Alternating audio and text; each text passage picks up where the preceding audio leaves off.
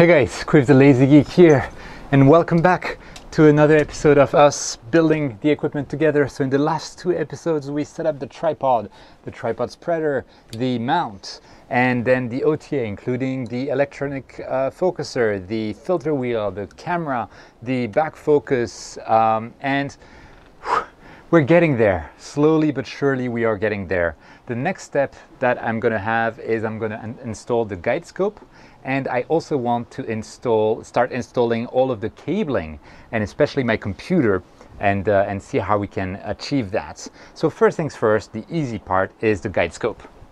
So the guide scope that I'm using is this thing, uh, Skywatcher EvoGuide 50 ED. So I bought it because it is an ED telescope and, and basically it has, uh, it's a doublet. So it has two lenses at the front, whereas most um, uh, guide scopes have only one, which gives it like tighter stars uh, at, uh, at focus, which is great for guiding. Uh, it is a bit more expensive than a standard guide scope, but I really uh, like it. It comes with those rings, and by default, those rings are mounted. Uh, shoot. Uh, the rings are mounted to this adapter plate there. I'm holding it weirdly because I don't want the screws to fall out. And then you can just slide this into the finder scope uh, uh, mount, which I have on actually the other side of the telescope. But I wanted a very stable connection. So I kind of hacked my way through some weird, um, you know, dovetail kind of thing. So this is like pretty custom made. Um, the, the rings came with the guide scope, the, the guide scope itself. And how I connected, by the way, the camera. My camera here is a 178mm uh, camera, which has a T connection here, M42, and the guide scope also has M42, so I just can just screw it in.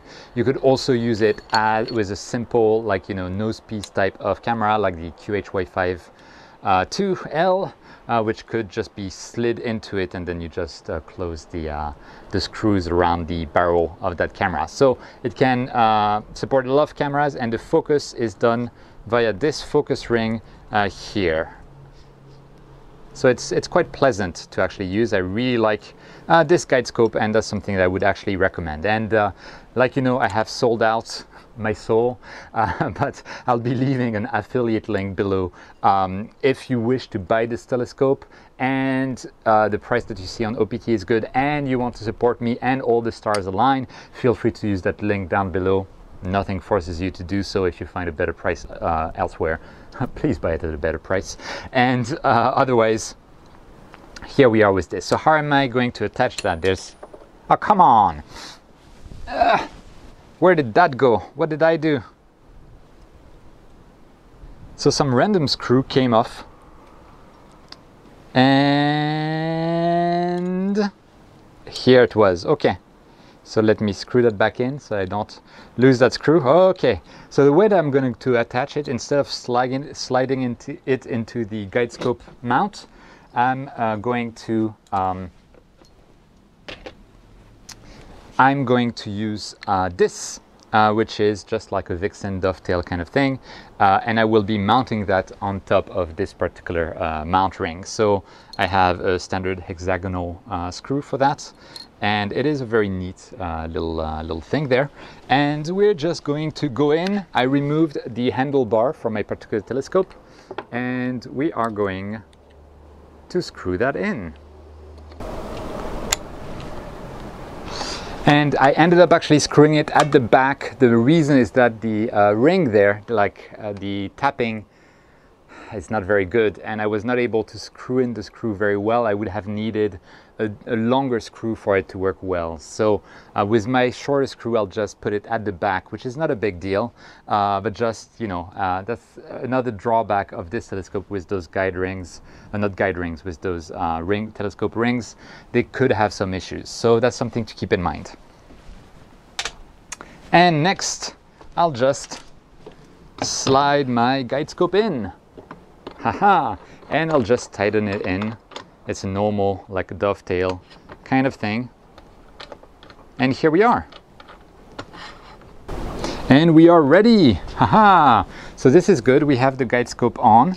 And what I'm going to do next is I'm going to try to install the computer the brain of everything and I'm not sure where I'm going to install it. I think I want to try installing it here without, you know, um, crippling the USB ports or any of the power ports, something like that. It isn't scary when I'm not securing it. And for that, I have joined two of my, whatever we call them, zip ties, whatever. And um, I am going to try and see if I can actually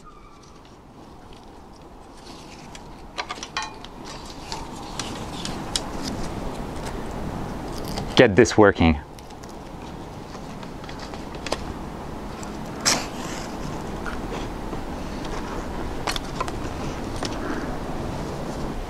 So here we are. This is not the most beautiful thing ever, but I think for now it will do. Uh, we'll see if there's a better way to attach that later on. This particular computer doesn't have any attachment points. Some computers do, but at least, you know, it doesn't go like inside the field of view of the guide scope.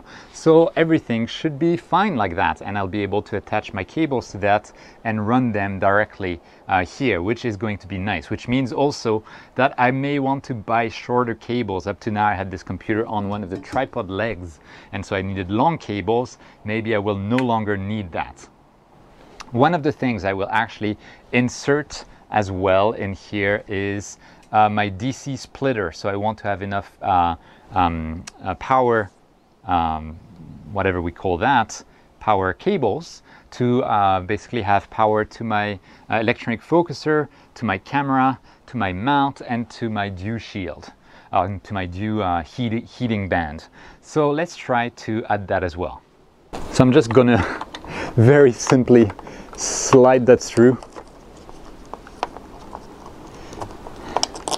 like that.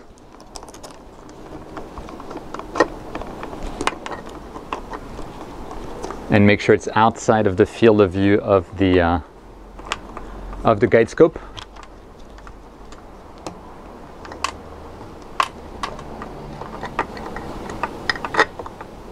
And now I have my DC splitter in there so I'll be able to power everything.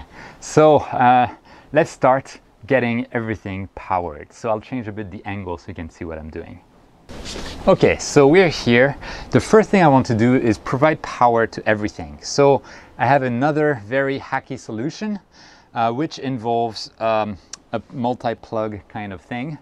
Uh, and I'll be using this simply because I know that this mount is basically permanently here. Otherwise, I'd be making sure that I have everything compatible with a 12 volt battery. But for me, I'll just put that like here and use one of those, um, whatever you call them, zip ties or, um, you know, Velcro ties. Let's call them Velcro ties around it on an area of the mount where I know, you know, nothing is too, uh, it will be moving except when I'm doing polar alignment in this particular case. And here I am, I have uh, basically secured that here. And the first thing that I'm gonna put power on is the mount. So the mount actually came with a very annoying kind of adapter that is a two-pronged adapter. I do not have any power cable to that and the one that came with the mount is uh, a, a plug, cigar, cigar, whatever, a car car type uh, of cable, which is nice for mobile batteries, sure, but not nice for me, which is why I have this, which is a power adapter that gives me uh, 12 volt, 5 amps to this kind of car plug. So I can do this and now I have uh, power. So I'll just put that, put that down here and we now are properly uh, powered. And I can try to basically keep most of the length of that uh, power adapter like underneath uh, the, uh, the, the tripod here.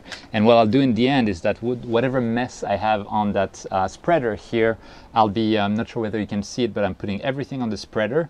Uh, I'll be securing with a zip tie at the end. Okay, so now we have power to the mount. So we're, we're getting a, in a good direction. The next, next thing that I want to power is my DC splitter, which I just installed on the computer. So for that, what are we gonna use? I have this adapter which is uh, 12 volt 3 amps which seems to be enough for my equipment. I think normally you'd want a bit more than 3 amps but you know we'll, uh, we'll make do with what we have. And so this one I'll want to run smartly. That's probably a bit hard. So I'll put the adapter on the spreader uh, for now. Okay, and now we have this cable that we know we want to bring all the way here. So to do that, I might want to just like run it through here and then later I want to make sure that it will uh, never you know snap or, or basically hang somewhere. So if I do that, I'm, I know I'm, I'm, I'm already I'm already having trouble. So I may want to actually move this, uh, this DC splitter a bit lower since anyway most of the stuff that this DC splitter is going to power is down there, down here. So I could just move that here so we have more you know, room to, to work and play.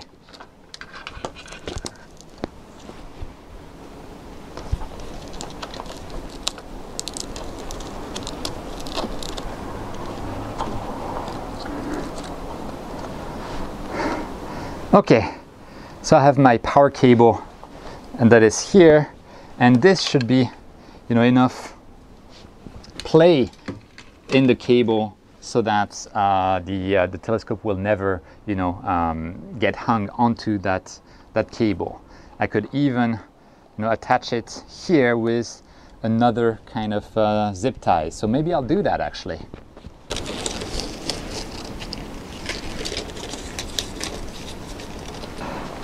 Something like this, I guess it's not ideal because uh, this mount is very round all over and uh, this, will, this will work against the RA axis. So let's forget about this idea for the moment. We'll just uh, leave it be like that. I might try to, uh, to enhance that later on. It should not have that much of an impact uh, anyway. But uh, next one, next cable will be a cable that goes to the camera. So I have my DC cables here we're going to plug that into the camera and immediately we can see that this could be shorter um, and tighter. So that's something we'll want to uh, play with. Uh, next one will be for the focuser which is here. Oops. Have the wrong cable in my hand Okay, we have the fo focuser hooked up. And what is the other one? We have the mount focuser camera. Well, I'm, I'm having a bug, but I know that I will want to also connect a, a dew heater to any lens that I have in the system. And one of those lenses is actually my uh, guide scope. We wouldn't want like dew on the guide scope to basically make or to, to kill all of the session. So on the guide scope, I'm attaching my uh, dew heater. And here we are. And this dew heater needs to be uh, powered as well. So we're gonna run it through our Velcro tie here, just like the rest. Uh, this dew heater, by the way, is fully automated. So it has in this little box uh, a temperature sensor uh, so it doesn't need any controller. It will automatically regulate the temperature of my whole setup and I will connect that to one of the other ports. So we've given power to the mount, to the camera, to the electronic focuser, which is most of what we want to, uh, to power. Then we need to decide what to do with all of those uh, cables that are dangling around. And I could simply you know, try to tie them to, uh, to those knobs here now that could work because I'm not removing the, uh, the OTA very, uh, very often. Uh, so maybe that is what I am going to do. That way they're never like uh, in the way.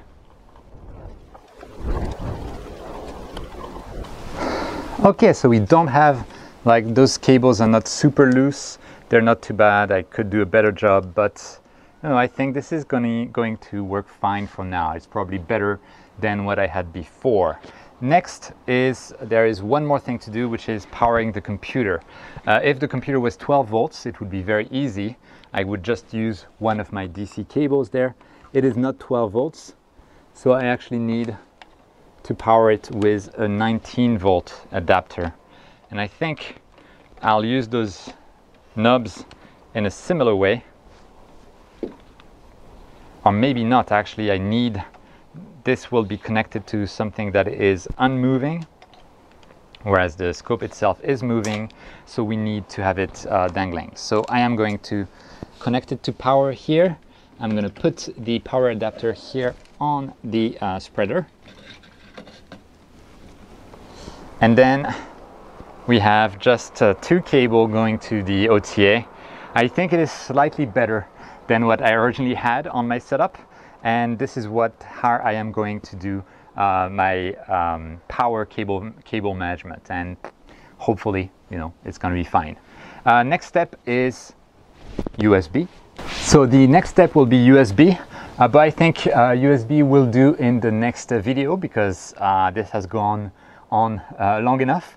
So today we used like very simple power cables um, velcro ties. There's nothing like you know, in particular that is astronomy related. I have my little computer at the top here. Everything is now connected. Uh, so in the following video, we'll do the USB. My USB cables are far too long, I think, so we'll see what we do about that to try to minimize the influence of the wind and to have a good cable management. It's already starting to look like not very good, uh, but you know, we're getting there slowly but surely, we're getting there. So thank you so much for watching. Uh, I hope this was useful. If you think this was useful, if you like this kind of video, or you like Astro Gear reviews, or you like technical videos about gain, offset, that kind of stuff, uh, if all of this uh, is something that seems like it would interest you, please consider subscribing to the channel down below. Uh, there is a little notification bell next to the, to the subscribe button as well to be notified of my latest videos as soon as they are uploaded. Uh, so that would be awesome. Uh, please, if you like this video, please also drop a, a, like down below. And if you have any comments, suggestions, uh, please feel free to go into uh, the comments below. But we're slowly getting there. I hope you're uh, looking forward to it as much as I am because I'm getting really tired. uh, but uh, you know, I hope this has been, this has been useful. Um, and you know, as always, whenever you can, don't forget to look up at the stars. And I'll see you next time.